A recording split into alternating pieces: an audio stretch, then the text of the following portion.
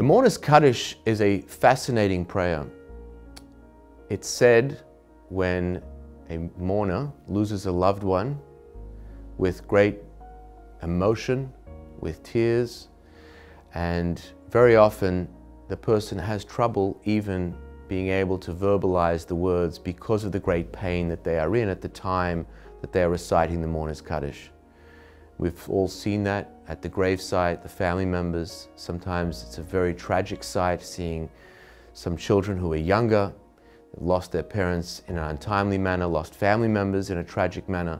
Reciting the Mourner's Kaddish always seems to be the epitome, the peak of the most emotional experience of the funeral and then even the subsequent 11 months of mourning that the mourner recites the Kaddish for. But what's strange about the Kaddish is, it's not what you would expect. You would expect to find in the Kaddish words of grief, words of loss, words of pain that elicit that kind of emotional response.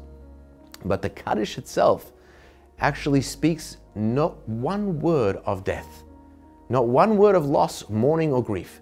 The entire Kaddish prayer is talking about sanctifying God's name, magnifying God's name, and talking about God's greatness. So, how is that synonymous with the mourner and what they are experiencing at that particular time? It certainly almost appears that the emotion and the visuals of someone saying Kaddish does not fit the lyrics of what the Kaddish is.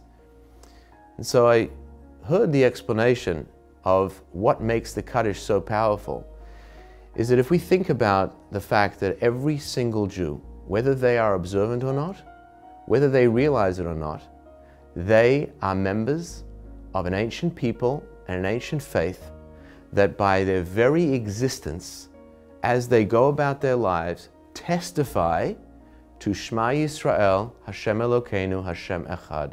They are walking, living embodiment of the belief that God exists.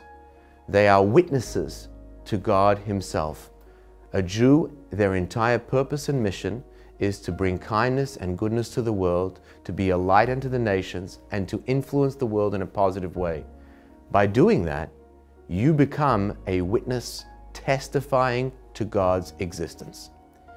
When one witness is taken from us, there is one less individual bearing testimony to God's goodness in the world.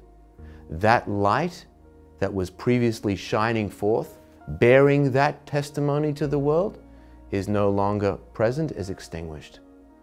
So we say in the Kaddish prayer, My father or my mother may, may no longer be bearing witness and testifying to God's presence in the world, but I, his son, I, his child, will take his place or her place in ensuring that there is no deficiency in God's witnesses in this world, and therefore I say the Kaddish that God's presence will be just as strong, just as powerful, and just as formidable because my father may have fallen, but I, his son, will take his place and continue to spread that light and shine the light, testifying to Shema Yisrael, Hashem Elokeinu, Hashem Echad, God's greatness in the world, and the belief that the world is indeed good and filled with God's goodness.